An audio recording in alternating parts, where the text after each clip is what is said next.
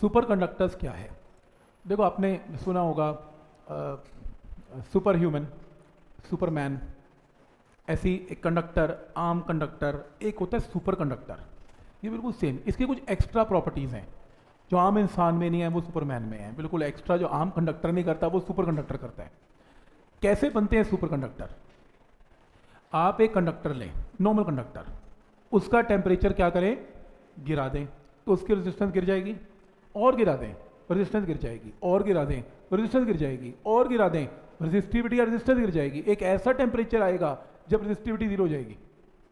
क्योंकि टेम्परेचर गिरने से रेजिस्टिविटी कम होती रहती है। तो उस खास टेम्परेचर को क्या बोलते हैं? क्रिटिकल टेम्परेचर तो जैसे उसकी रेजिस्टेंस या रेजिस्टिविटी ज़ीरो हो गई, ये प्रैक्टिकल नहीं है टेम्परेचर बहुत लो करना पड़ता है, इतना कौन मेंटेन करेगा? पर अगर हम कर दें तो बहुत लो टेम्परेचर पे ले जाएँ रेजिस्टेंस ऑलमोस्ट ज़ीरो हो गई तो वो मटेरियल क्या कहलाएगा? सुपर कंडक्टर जब वो सुपर कंडक्टर बन जाता है, ठीक सुपर कंडक्टर हो गया, तुम उसके अंदर हल्का सा करंट छोड़ दो। कई साल तक करंट जाएगा नहीं उसमें से, क्योंकि करंट को भगाने के लिए क्या चाहिए होगा? रेजिस्टेंस जब रेजिस्टेंस ही नहीं होगी तो रुकेगा कौन? तो कई साल तक उसके अंदर करंट रहेगा। तो ये सुपर कंडक्टर है।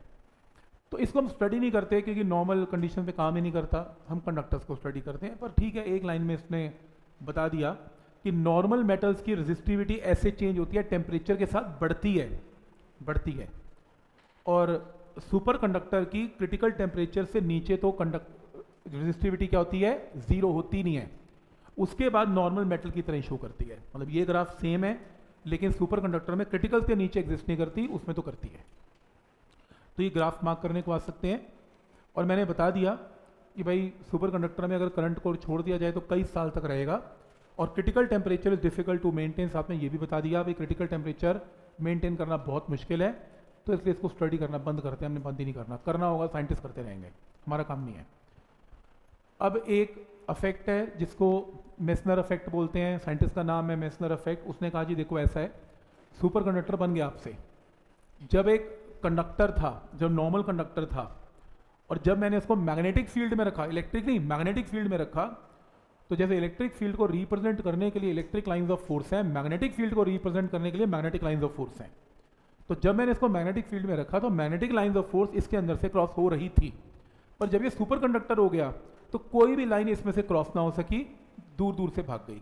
तो सुपर कंडक्टर के अंदर magnetic lines of force cross नहीं हो सकती। इस अफेक्ट को मेस्टर अफेक्ट बोलते हैं। ठीक? आता नहीं है पेपर में। बुक्स में गिवन है, मैंने भी लिख दिया। आ जाए तो मैंने बता दिया क्या है। और लास्ट एक प्रॉपर्टी अगर सुपर कंडक्टर बन गया आपसे तो वो सुपर कंडक्टर अब कंडक्टर नहीं रहेगा, वो क्या बन जाएगा? Dielectric it will act like a dielectric ये भी प्रॉपर्टी देखी गई है। ठीक? क्योंकि हमने इस रास्ते जाना नहीं, इसको हम करते हैं क्लोज क्योंकि सुपर कंडक्टर में काम ही नहीं होना। बस दो लाइन डिस्कस करके इसको क्लोज करते हैं।